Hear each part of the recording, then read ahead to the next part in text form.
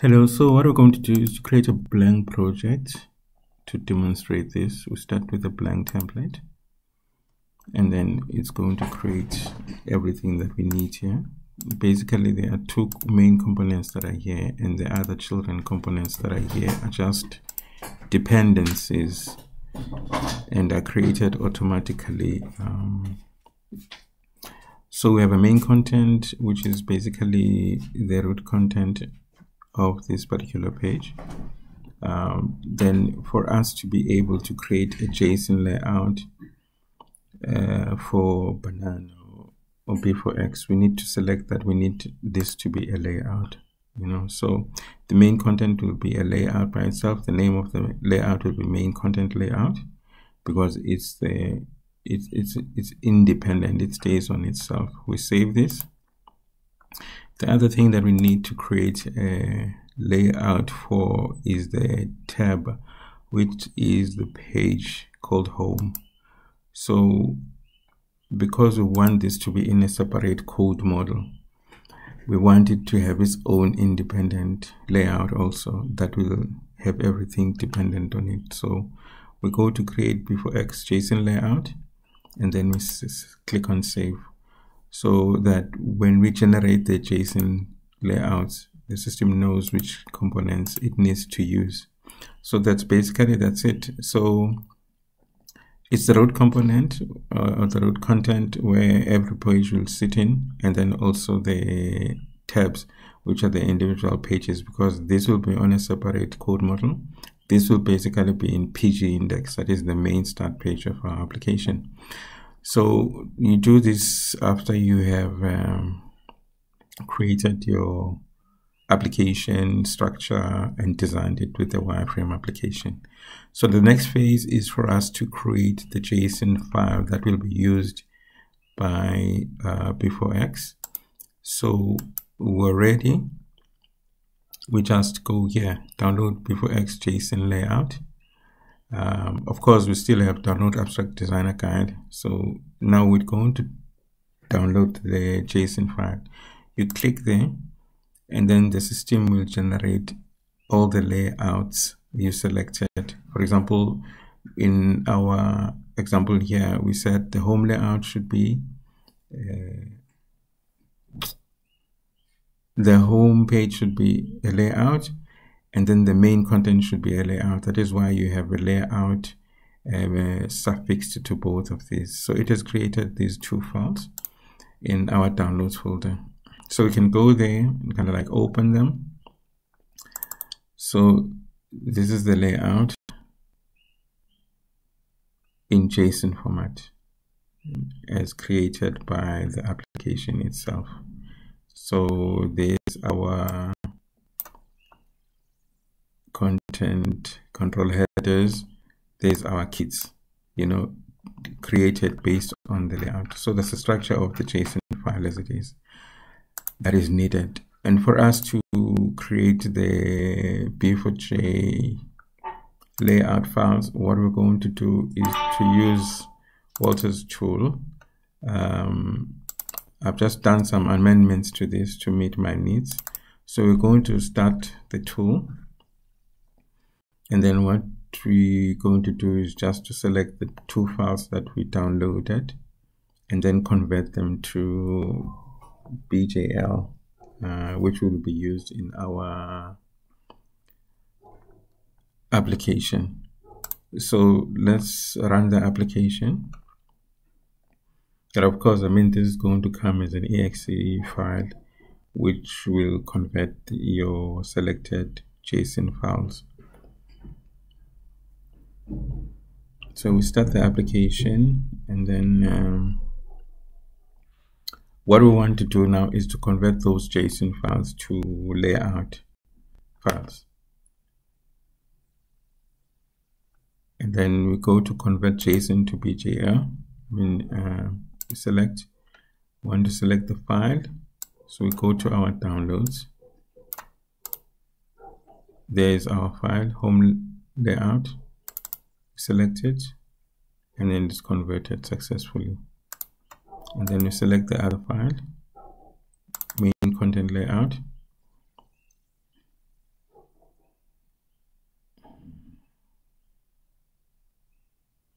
It's converted.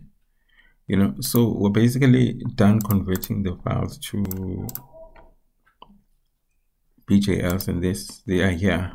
Is that one and that one? Yeah so what we're going to do then uh, let's start an application. Uh, let's start a B4J project using a template from let's use this one. Uh, Sithaso Ionic 7 layout test you know so to demonstrate this we're going to take a project that doesn't use any layouts. This doesn't use any layouts as you can see. We go and we add a layout from uh, the one that we've created.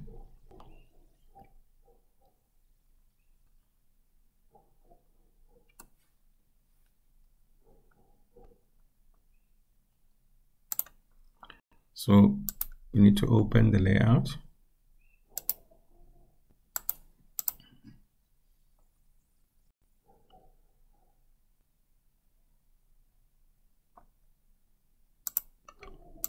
file open.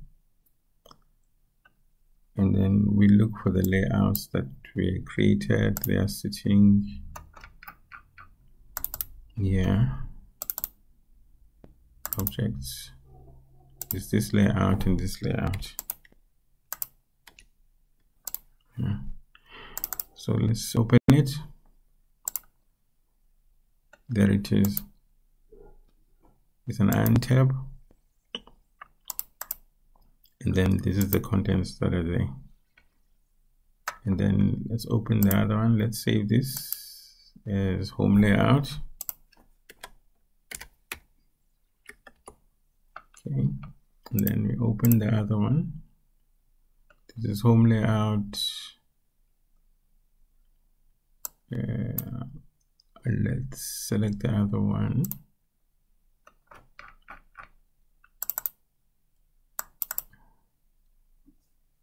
objects main content. Yeah. This has two components inside. The other one is the main con is the ion content. And the other one is the main page. As you can see here the main page parent id is the main content means that it needs to sit inside it.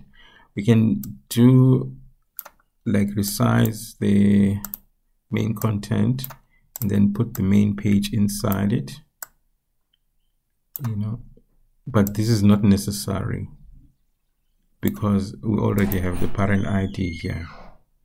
So if we do it like this, we just need to remove this because the main page is also just below the main page content here.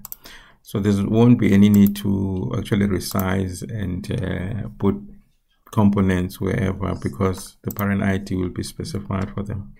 So the main page itself here is an ion page, is a div um, and and and is a page. Uh, this doesn't have a header because the header will be taken different from the other pages.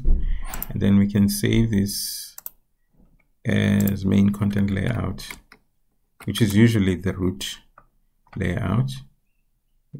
So the, the main content okay these ones we can delete because they're not being used now. We just change the name so that generating application. So here we can say uh, load layout. The target is the app. And then we want to load the main content layout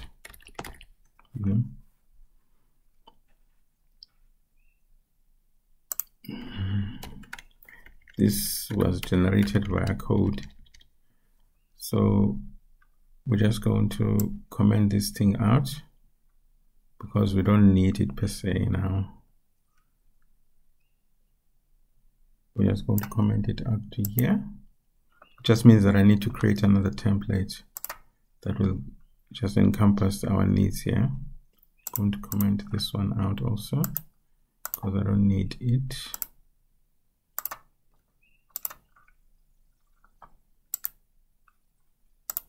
okay let's just comment this one out.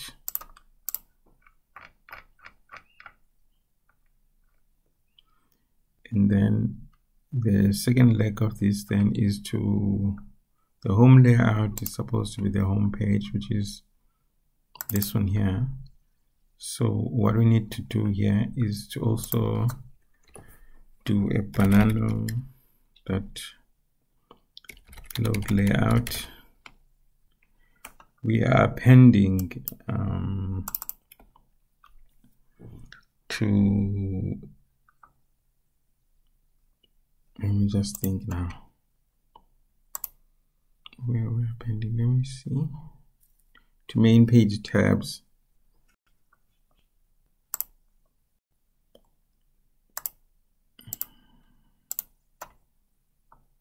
Yeah and content embedding. The ion page. The ion page which is the master page it has tabs. Has content. Has tabs. So because it's main page the name of the tabs is the main page tabs. So the hosting component of the application. So what we need to do here is to say load layout append to main page tabs and then we're going to load the home layout. Because when this layout is loaded it's going to create the various components that we need. So this is basically the same as this one. Main page tabs main page tabs but now this was generated by code but now we're going to be using a load a layout to to edit. So let's run the application and see whether everything is working fine. Um, so let me just say something here. Okay let's just comment everything out. The home is then is the ion tab which is basically what is sitting here you know. Um, in normal circumstances what we will do is to generate members but because we're using an already existing code structure we'll just leave that one you know. So it's ion tab. We append everything to main tabs because this is a page it can be a collection of pages so we want it to be uh, added the you know so basically that's how we do it let me do this let me run this so that we see if everything that we are trying is working because I'm just testing this for the first time also as I'm running it with you. So let's run the application and just see if our generated layout and everything works as expected. So we compile the application, we make sure that our web server is running. Uh, Laragon, where are you? So let's open it.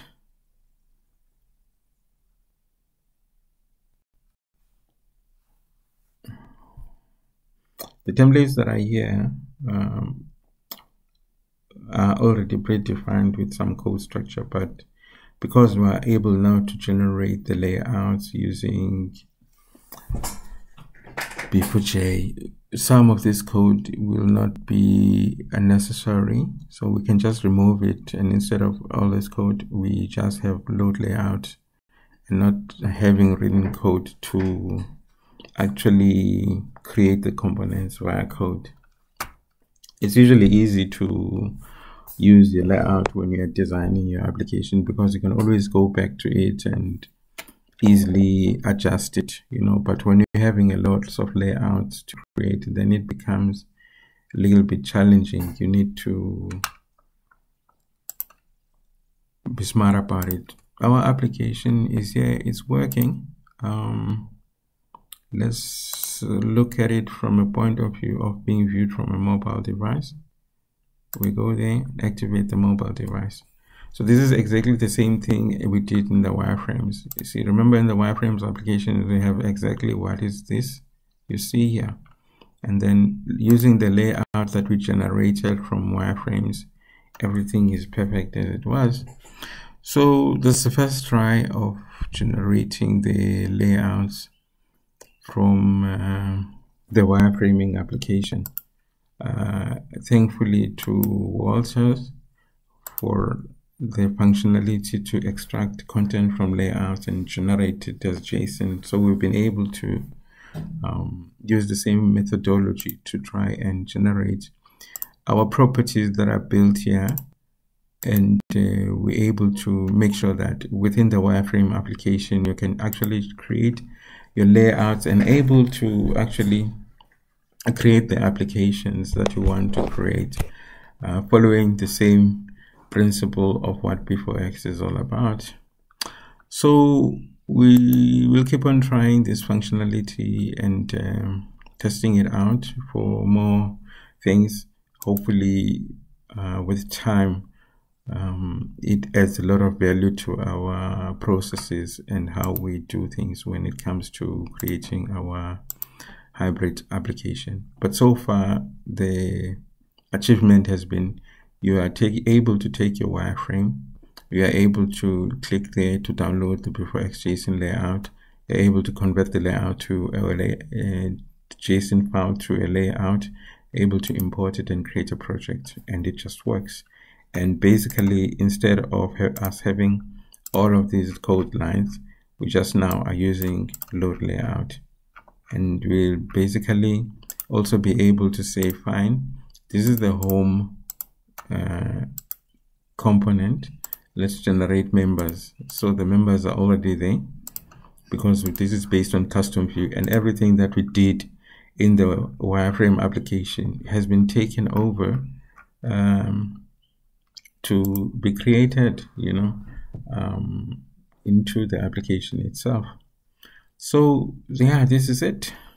This is exciting in a way you know so yep thank you